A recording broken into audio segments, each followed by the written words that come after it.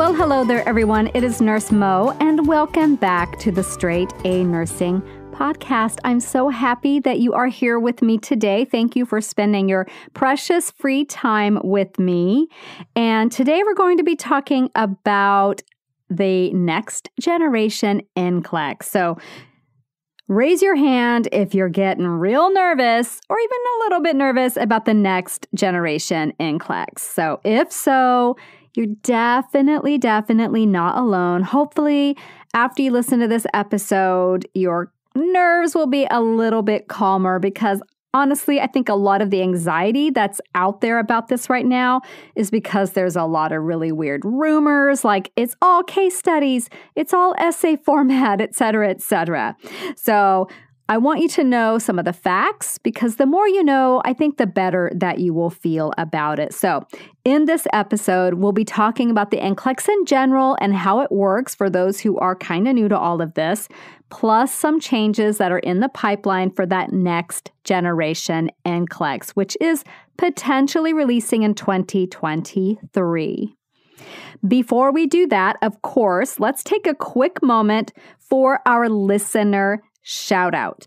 So, this one came through on a podcast review from Bulgarian Nurse. So, this shout out is for you. And Bulgarian Nurse says, Thank you, Nurse Mo. Just like you, I love multitasking. I love listening to your podcast while commuting to work and doing chores. I am starting nursing school in a few days, and your podcast and book have helped me feel confident and enthusiastic. You really present the topic in an understandable and enjoyable manner. Thank you for your hard work and dedication. Thank you so very much for taking the time out of your busy schedule to leave that thoughtful review. All right, so who is ready to talk all things NCLEX? Let's take a quick look at what it is and, in general, how it works. So, the NCLEX is that licensing exam that RN and LVN or LPN candidates take to secure licensure. Currently, the NCLEX RN exam consists of 75 to 145 questions that must be answered in a maximum of five hours. Now, I do know that some of the testing parameters have changed and then changed again and then maybe reverted and changed and flip flopped around with COVID. This is the most recent information that I have available to me at the time of this recording. So, this exam of 75 to 145 questions includes 15 pre test items. They have to be completed, but they don't count toward the score. You actually have to do those first in order to even take your actual exam. And what these are are these are experimental questions that are being evaluated as potential future NCLEX exam questions. So then at the end of your exam, because you're not exhausted and just want to go home and take a hot bath or cry in the shower, at the end of your exam, you could receive additional questions that are voluntary research questions. And these questions do not count towards your score, and you can choose to answer none of them, some of them, or all of them. It is up to you. Sometimes it's confusing for students because the way it's set up right now is that, let's say your exam ended at 75 and then the experimental question started and there is a pop-up or some kind of window that says these are voluntary but then the next question number isn't 1 it's 76 so students sometimes think they're still in the exam but just know that when that window comes up that says it's voluntary, read that carefully and make sure that, you know, if it is voluntary and you don't feel like doing it, then you probably don't have to do it. But read that window very carefully. So, both the NCLEX RN and NCLEX PN utilize something called Computer Adaptive Testing or CAT.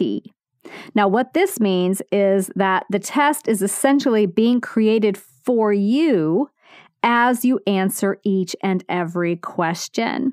So, as you answer a question, the computer analyzes how you did on that question and determines your level of competency. So, if you selected the correct answer, the computer knows hey, this soon to be nurse is competent, I'm going to give them a little bit more of a difficult question. I'm going to push the boundaries of their competency. So, on the other hand, though, if you selected an incorrect answer, the computer then selects what it considers an easier question for you. So, this process continues until the algorithm basically decides that you have met or not met the testing requirements. And at that point, your test ends and you've either passed or failed. So, there's a minimum number of questions, right? That's 75. And your test at 75 might just shut off like mine did.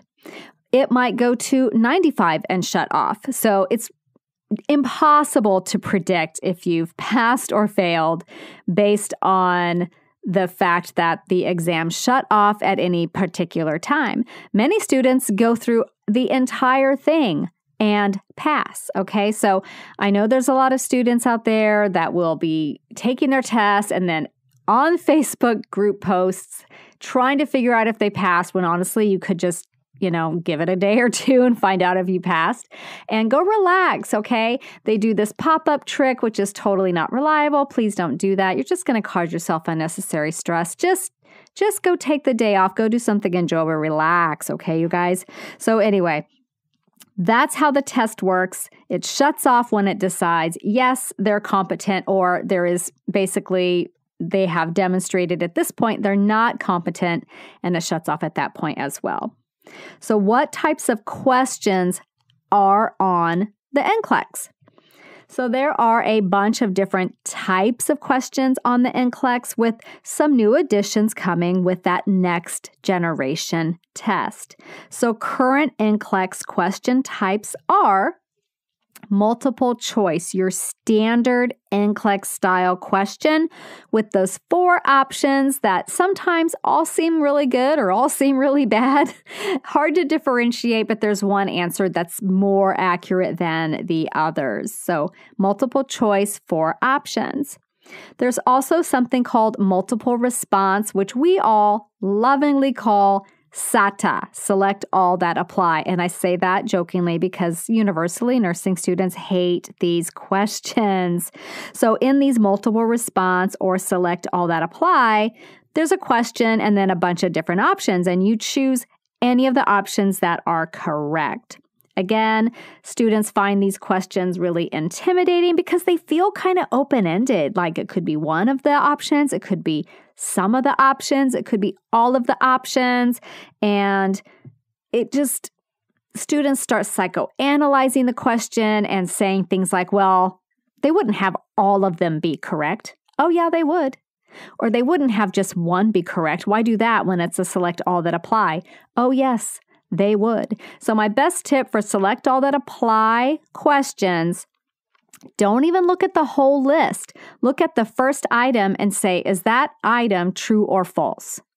And if it's true, then it's one of your options that you select. And if it's false, it's one of the ones you leave blank. And just look at each option individually and don't try to guess what the question writer was trying to do.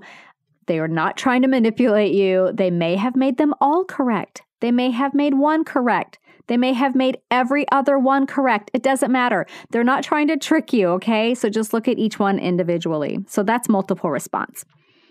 And then there's image or what are called hotspot questions. So these questions will have an image, maybe it's an illustration, maybe it's part of the patient's chart or a table of some kind, and it asks you to click on the hotspot that answers the question. Then we have fill in the blank. So these questions could include dosage calculations, they could include I&O calculations, or some other kind of medical math such as a tube feeding dilution concentration, something like that. Your answer will be then typed into the answer box, and you absolutely have to pay careful attention to rounding rules on these. Drag and drop is another type of question. So, in these questions, you'll place the steps to an intervention in the proper order. And then graphic questions, these answer options will be images rather than words. And then there are chart based questions. So these types of questions will show you information you'd find in a patient's chart. And you may need to click around on various tabs to find the information you need to answer the questions. And then there's video and audio. So these questions may ask you to interpret things like lung sounds or assessment techniques, things like that. Okay, so that's generally what the NCLEX is like. Okay, now the next generation test includes some different and exciting new formats that the goal is to help really bridge that gap between book knowledge and clinical decision making to really ascertain if the student is able to bridge that gap. So, the goal is to more accurately determine readiness to enter practice. Okay, so the format types include enhanced multiple response. So, if you didn't enjoy the select all that apply questions before, this might make you nervous, but not if you have a method for doing them, because they really are an excellent way to mimic real world situations. When my patient deteriorates or has a change in condition, I don't just have four options to choose from or five options to choose from. I have limitless options to choose from, and I have to know what the right thing to do is. So these questions could possibly present like a patient scenario and then provide a long list of options for which would be appropriate for that situation. At this time, NCBSN, those are the people that write the NCLEX, and all of this information, by the way, is from their website. I'm not leaking NCLEX information. This is all publicly available NCBSN information. The NCBSN states that these questions will allow for partial credit scoring. That's what they're saying right now. Hopefully, that stays true because I do realize when you have one question, but you're thinking through like 10 different things, it feels really disheartening to get 80% of the select all that applies correct, but miss the whole question. So that is what the news is right now around that. Okay, then there are extended drag and drop. So, extend and drag and drop these questions will include more information than the standard drag and drop, assessing a deeper ability to make sound clinical judgments. Because again, you don't just have two or three choices when you're working in the clinical setting, you have lots and lots of options, lots and lots of competing priorities. So, this is just trying to make sure that you really do know how to apply your book knowledge to a clinical scenarios. And then there are CLOZE questions. It's an acronym C L O Z E. I honestly don't know what the acronym stands for, but what they are is they are short answer questions with drop down menus that contain a few options. So I've seen options on the NCBSN website that have two or three or four options. And these drop downs can be within tables, within charts, like the patient's chart, or a narrative, like a sentence about the patient or the scenario. And then we have enhanced hotspots. So you see how some of these are just enhanced versions of what's already there? So that's great because it's not a completely new test. I think a lot of people were getting really nervous about that. So, enhanced hotspots. So, these questions could be case studies, illustrations, or chart data that asks you to click on specific information to show you know which information is important in your clinical decision making. So that's what those are. And then case studies. And I think this is where students panic because they thought it was going to be all case studies with long answer formats and felt like that was too open ended. Personally, I would love that, but that's just me. Okay, so unfolding patient scenarios or case studies basically place you into a patient situation and assess your ability to recognize key data and make these care planning decisions. So these questions, honestly, I'm telling you guys, when I was looking on the NCBSN website, they look really fun to me. And the example that I saw on the chart on the website, NCBSN website, showed a patient chart with a written scenario. And in these questions, you'll need to be able to recognize which of the assessment findings and lab results, diagnostic results are relevant and require action. You'll need to be able to focus on that most important data to make a clinical decision and at the same time be able to identify potential risks to the patient. I've said a million times, if you guys have listened to me talk about this at all, nurses see problems and fix them. We think about potential problems and we avoid them. And that is my two sentence summation of your entire job as a nurse. And that's what these case studies are doing.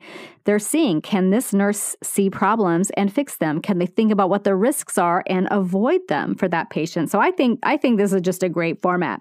You'll also need to show you can prioritize what needs to be addressed for the patient in this particular scenario.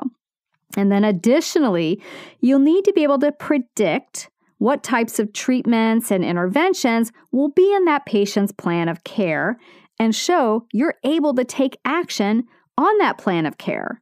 You'll also need to show you can objectively evaluate the patient's outcomes and can recognize if the patient is not meeting their goals. So, these case study questions, yes, they are loaded with critical thinking and clinical judgments. And to me, of all of them, really seem to mimic the type of multi layered decision making you will utilize every single day as a nurse. And I just personally, I'm a huge fan, okay? The dynamic exhibit and constructed response questions is another type. And these questions will present information in what's called a dynamic exhibit and ask a question that is answered in short format. And then we have matrix grid questions. And these questions provide a list of options and ask you to categorize them as essential for the plan of care, non essential for the plan of care, or contraindicated for the patient or the plan of care. Now, I know you guys are apprehensive about a new exam format, but from what I understand, and this is from the NCBSN website, the next generation questions will not make up the entire exam. There will still be some of those standard NCLEX questions you've come to know and love, but it is not yet known like what percentage of the test will be standard style versus the next generation questions. That has yet to be decided. They're still doing a lot of research. They're still having students do those uh, research questions, figuring all of this out. So, what we do know at this point is that the new format questions are based on the clinical judgment measurement model developed by NCBSN, which includes six components. The first one is recognizing cues. So, this segment of that clinical judgment measurement model correlates with the first part of the nursing process, right? Assessment. But it takes it a bit further. Rather than just knowing what and how to assess, the next generation questions are asking if you know how to recognize patient conditions that warrant further investigation or intervention. In other words, do you know when to get worried about your patient? So there's a sample video on the NCBSN website, and I will link you to the website in the episode notes so you guys can go check all of this for yourself. The sample video on the website shows a nurse who's caring for a patient, and it looks like the patient is complaining about some itching at her neck. So rather than blowing it off, the nurse recognizes that this could be important and assesses the patient's neck, which she sees as red and maybe has some small hives developing. Okay. And then the second component that this clinical judgment model is going after is analyzing cues. So, this segment and the one that follows really fall into that analysis diagnosis step of the nursing process. So, once you've recognized that something is off about your patient, they're itching at their neck and it's red and there's some hives. Do you know what this means for your patient? Can you analyze that information? Can you come up with a pre, you know, a presumptive diagnosis about what is going on? So in that sample video, the worried look on the nurse's face indicates, "Oh, this could be serious." And you guys have to go watch this video. It's very well done. So, that next segment of that clinical judgment measurement model is priorities and hypothesis. So, in this component, you develop a hypothesis about what you think is going on with the patient. So, in the video example, the nurse looks up at the antibiotic that's infusing, and you can almost see like a light bulb going off in her head. Basically, the hypothesis is that this is an allergic reaction to that antibiotic. And then the next segment of that model is generating solutions. So this component correlates with the planning component of the nursing process. So to me, this kind of happens almost simultaneously with taking action, but your plan in this case would be, you know, stopping the antibiotic, calling the MD, prioritizing all the assessments you want to conduct, et cetera. All of those things that you would do if you think your patient's having an allergic reaction to a medication that is infusing. And then the next component is taking action. So, this component of that judgment model correlates with the implementation phase of the nursing process. So, in the video, the nurse stops the infusion, disconnects the antibiotic, and clears the line. And then the final component is evaluating outcomes. So, in this final component of the model, it correlates with the evaluation component of the nursing process. So, did the action that we performed result in the desired outcome? So, in the video, we see the nurse assessing the patient and listening to her lungs, presumably for wheezes, which are often present with something like anaphylaxis. And it doesn't go into all the interventions that she did. That's not really the point of it. The point of it was just to show you that she recognized that there was an assessment finding that was concerning. She identified what the possible cause would be, came up with the plan, took action, and then evaluated how well her plan worked. So, if your school has been relying very heavily on the nursing process and you feel like you're going to flounder with this more dynamic style of test, I don't want you to worry. As you saw through that explanation, it correlates with the nursing process very nicely, and this is very intentional by NCBSN. You will need to focus your attention on putting the pieces together, thinking through patient problems, and prioritizing the nurse driven interventions to address those problems. So, do as many case studies as you can and always read the rationales for any NCLEX practice questions you answer. And yes, even the ones you get right, even the ones you think are easy, especially all the wrong answers. Don't just read why the correct answer is correct, read the rationales for why the other options were incorrect. So I heard another rumor on the NCBSN website, and I guess if it comes from NCBSN, it's not a rumor, but I also heard that nursing diagnoses are not on the next generation NCLEX. So to me, that's fantastic news. I find nursing diagnoses to be unnecessarily complex. From what I have seen of some of the sample questions, what it looks like they are doing is using more problem solution based language rather than relying on this convoluted language that no one really ever actually uses except for people who are in or teaching nursing school. And again, there are sample questions on the NCBSN website. So, hopefully, the NCLEX prep materials students rely on will begin incorporating these formats soon. I'm sure they are. Your school should also be looking at how well they're preparing you for this next gen exam as well. So, there could be some curriculum changes, maybe more of a focus on case studies and things like that.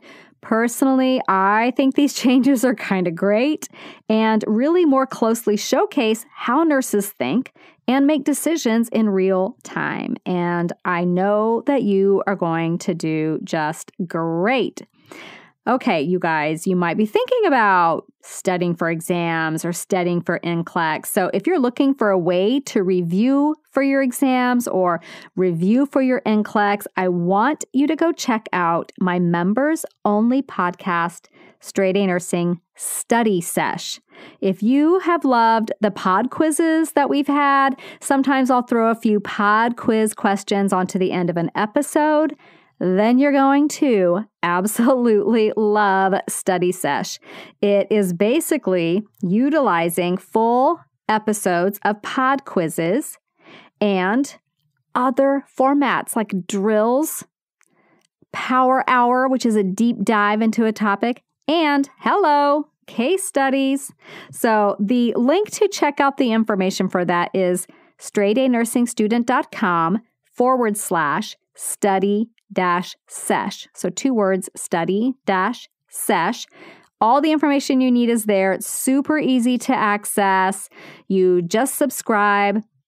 It's priced, I promise, for a nursing student's budget. And the steps to get the podcast onto your device are super easy. They're step by step instructions. And all your questions are most likely already answered on that website URL that I just gave you in the FAQ. Okay. So go and check that out, straightanursingstudent.com forward slash study dash sesh. Okay. And I cannot wait for you to come back next week and hang out with me, you guys, because I've got a really interesting topic for you.